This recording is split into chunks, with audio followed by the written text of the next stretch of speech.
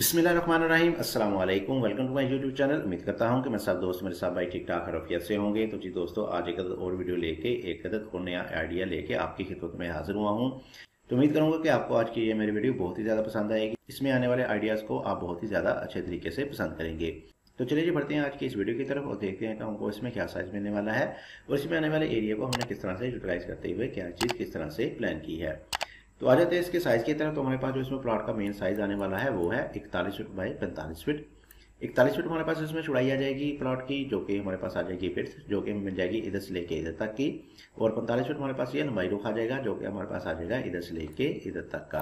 तो हम मल्लों में बात करें तो हमारे पास इसका एरिया मल्लों में बन जाएगा तकरीबन सात मल्ले सात मल्ले की कैटेगरी में ये फॉल करेगा। तो अगर आपके पास कुछ इस साइज़ का प्लॉट है या इससे कुछ थोड़ा बहुत मिलता जुलता है तो आप इसमें से मुख्तलिफ़ आइडियाज़ को पिक करते हुए अपने प्लान के ऊपर इसको बना सकते हैं। तो आ जाते हैं इसके मेन गेट की तरफ़। मेन गेट आपको मिलने वाला है इसमें राइट साइड पे, और मेन गेट का साइज़ हमारे पास जाएगा तकरीबन चौदह फिट का। लेकिन अगर आप चाहें तो इसको कम या ज़्यादा कर सकते हैं अपनी मर्ज़ी के हिसाब से।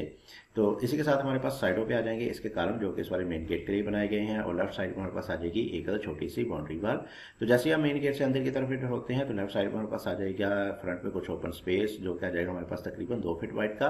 लेकिन अगर आप चाहें तो इसको छोड़ भी सकते हैं, जिससे आपकी ये वाली दीवार ड्राइंग की ये वाली दीवार मुकम्मल तौर पर आगे की तरफ़ आ जाएगी।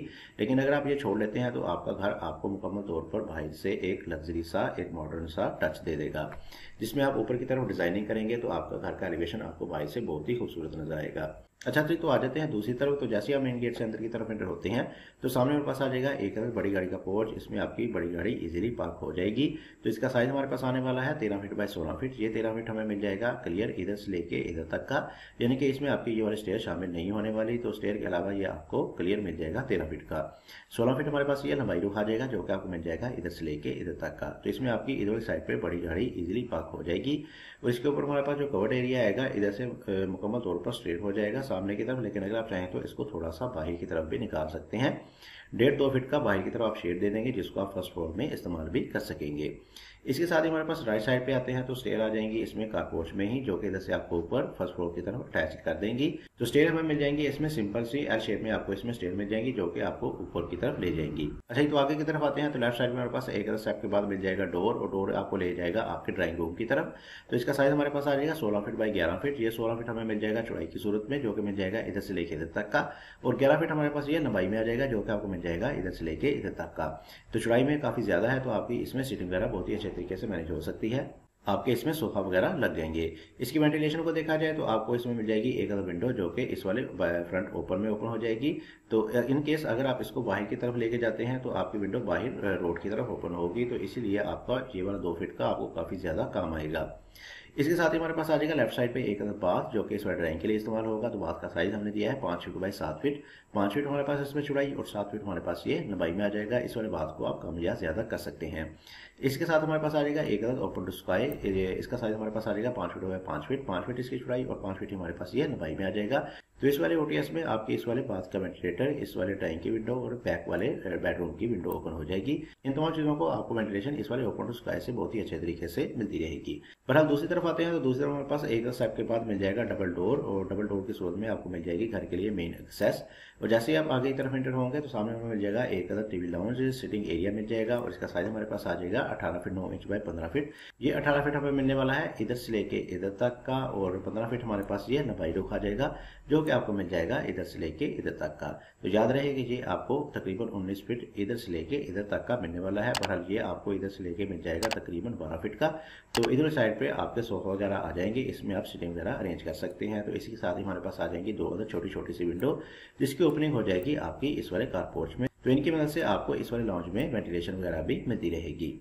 आगे जाने से पहले लेफ़्ट साइड पे आते हैं तो लेफ़्ट साइड पे हमारे पास आ जाएगी इसमें एक तरह लोबी और इस वाली लोबी में आपकी फ़र्स्ट डोर ओपन होगा इस वाले ड्राइंग का, जो कि आपको अंदर से एक्सेस देगा इस वाले ड्राइंग रूम में जाने के लिए। तो दूसरा डोर हमें ले जाएगा इस घर के पहले बेडरूम की तरफ़। तो इस वाले बेडरूम का साइज़ हमारे पास आ जाएगा चौदह फीट बाई ग्यारह फीट चौदह फीट हमारे पास इसमें चुड़ाई आ जाएगी, जो कि हमें मिल जाएगी इधर से लेकर तक की, और ग्यारह फीट हमारे पास ये नबाई रुखाने वाला है, जो कि आपको मिल जाएगा इधर से लेकर इधर तक का। तो इस वाले बेडरूम की विंडो ओपन हो जाएगी, इस वाले ओपन टू स्काई में, जिसकी मदद से आपको इस वाले बेडरूम में वेंटिलेशन इस वाले ओपन टू स्काई से बहुत ही अच्छे तरीके से मिलती रहेगी। इस वाले बेडरूम में आने वाले ड्रेसिंग की बात करें तो हमारे पास आ जाएगा इधर साइड पे, और इसका साइज़ हमने दिया है छह फीट बाय साढ़े फीट का। छह फीट हमारे पास इसमें चुड़ाई और साढ़े फीट हमारे पास ये नवाई में आ जाएगा। इसके सामने हमें मिल जाएगा इसमें एक अदर अटैच बाथ और बाद का साइज़ हमने दिया है छः फीट बाई सात फीट छः फीट इसकी चुड़ाई और सात फीट हमारे पास ये लंबाई में आ जाएगा। तो इसकी वेंटिलेशन को देखा जाए तो इसका वेंटिलेटर बैक पे ओपन में ओपन हो जाएगा तो इसकी मदद से आपको इस वाले बाथ में वेंटिलेशन मिल जाएगी। तो दोबारा लॉबी में आते हैं तो इस वाली लॉबी में ही आपका ओपन हो जाएगा इस वाले बेडरूम का डोर तो जिसकी मदद से आपको इंटरेस्ट मिलेगी एक्सेस मिलेगी इस वाले बेडरूम में जाने के लिए। तो इसका साइज़ हमारे पास आ जाएगा साढ़े चौदह फीट बाई तेरह फीट साढ़े चौदह फीट हमारे पास इसमें चुड़ाई आ जाएगी और तेरह फीट हमारे पास ये लंबाई में आ जाएगा। तो पहले बात के वेंटिलेटर की तरह, आपका इस वाले बेडरूम की विंडो भी इस वाले बैक ओपन में ही ओपन हो जाएगी। तो इसके साथ हमारे पास आ जाएगा इसमें एक अटैच पाथ और उसके बाद का साइज़ हमने दिया है छह फीट बाई सात फीट का। छह फीट इसकी चुड़ाई और सात फीट हमारे पास ये लंबाई में आ जाएगा। और इसके साथ ही आपको बाहर की तरफ़ मिल जाएगा एक वार्ड्रोब अलमारी वगैरह मिल जाएगी, जिसकी ओपनिंग आपकी इस वाले लाउंज में हो जाएगी, जिसको आप मुख्तलिफ़ पर्पज़ के लिए इस्तेमाल कर सकेंगे। आखिर में आते हैं तो आखिर में हमारे पास राइट साइड पे कॉर्नर पे बैक साइड पे मिल जाएगा एक किचन इस घर के लिए आपको किचन मिल जाएगा बैक साइड पे। तो इसका साइज़ हमारे पास आ जाएगा 12 फीट बाई 11 फीट 12 फीट हमारे पास इसमें चुड़ाई आ जाएगी, जो कि हमें मिल जाएगी इधर से लेके इधर तक की। और 11 फीट हमारे पास ये लंबाई रुखा जाएगा, जो कि आपको मिल जाएगा इधर से लेके इधर तक का। इस वाले किचन को अगर आप चाहें तो एक आर्च देके ओपन भी रख सकते हैं। इसके साथ ही आपको मिल जाएगा एक छोटा सा डोर जिसको इस्तेमाल करते हुए आप बैक साइड वाले ओपन में भी इंटरेस्ट ले सकेंगे। यानी कि इस वाले बैक और ओपन को भी आप रोज़मर्रा के कामों के लिए भी इस्तेमाल कर सकते हैं। तो इसका साइज़ हमारे पास आ जाएगा सत्ताईस फीट बाय पाँच फीट। सत्ताईस फीट हमारे पास इसमें छुड़ाई आ जाएगी, जो कि हमें मिल जाएगी इधर से लेकर देता की, और पाँच फीट हमारे पास यह लंबाई रुखा जाएगा। दूसरे बैक ओपन में आप अपनी वॉशिंग मशीन वगैरह रख के उसको यूज़ कर सकते हैं। आप इसको एज अ लॉन्ड्री भी इस्तेमाल कर सकते हैं। इसके अलावा इस वाले ओपन में आपकी इस वाले किचन की विंडो भी ओपन हो जाएगी, जिसकी मदद से आपको पीछे से इन तमाम चीज़ों में वेंटिलेशन भी बहुत ही अच्छे तरीके से मिलती रहेगी। तो चलिए जी, चलते हैं आप इसके ओवर की तरफ़, कर लेते हैं इसका एक बार ओवरव्यू तो जी दोस्तों, इकतालीस बाई पैंतालीस का ये एक हमारे पास घर का प्रपोजल था, जिसको हमने डिटेल डिमेंशन के साथ आपके साथ एक्सप्लेन किया। तो आ जाते इसके मेन गेट की तरफ़। मेन गेट आपको मिलने वाला है इसमें राइट साइड पे, और जैसे ही हम मेन गेट से अंदर की तरफ़ एंटर होते हैं तो सामने हमारे पास आ जाएगा एक बड़ी गाड़ी का पोर्च और इसके साथ ही हमारे पास राइट साइड पे आ जाएँगे स्टेयर हर शेप में स्टेयर मिल जाएँगी, जो कि इधर से आपको ऊपर फ़र्स्ट फ्लोर की तरफ़ ले जाएँगी। लेफ़्ट साइड पे आते हैं तो सामने हमारे पास आ जाएगा कुछ फ्रंट पे ओपन स्पेस जो कि आ जाएगा हमारे पास तकरीबन दो फीट वाइट का। आगे बढ़ते हैं तो आगे हमारे पास लेफ़्ट साइड पे आ जाएगा एक स्टेप के बाद आपका ड्राइंग रूम जिसमें आपके गेस्ट वगैरह स्टे करेंगे। इसके साथ ही हमें मिल जाएगा? एक अदर अटैच बाथ जो कि इस वाले ड्राइंग के लिए इस्तेमाल होगा। बैक साइड पे आते हैं तो बैक साइड पे हमारे पास डबल डोर की सूरत में मिल जाएगी मेन इंट्रेंस इंट्रेंस के साथ ही आपको राइट साइड में मिल जाएगा एक other sitting area TV lounge वगैरह मिल जाएगा, और इसी सामने आपको मिल जाएगा इस घर का पहला बेडरूम बैक साइड पे आपको मिल जाएगा इस घर का दूसरा बेडरूम और दोनों बेडरूम के साथ आपको मिल जाएँगे अटैच बाथ और ड्रेसिंग वगैरह भी।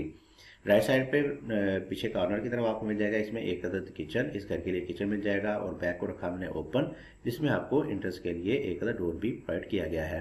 तो ये था जी हमारा एक अदद सात मल्ले का खूबसूरत सा घर का नक्शा प्रपोजल था। उम्मीद करता हूँ कि आपको आज की ये मेरी वीडियो पसंद आई होगी। वीडियो पसंद आई है तो इस वीडियो को लाजमी से लाइक कीजिएगा और अगर अभी तक आपने मेरे चैनल को सब्सक्राइब नहीं किया या मेरे चैनल में नए हैं तो जल्दी से मेरे चैनल को सब्सक्राइब कर दें और साथ रखे पहले आइकॉन को दोबारा ना भूलिएगा। इससे आपको मेरी यहाँ नई आने वाली वीडियो का नोटिफिकेशन टाइम पे मिलता रहेगा। इसी साथ मुझे दीजिए इजाज़त, अपना बहुत सारा ख्याल रखिएगा दो में याद रखिएगा। मिलते हैं एक और वीडियो के साथ अब तक के लिए हाफिज़।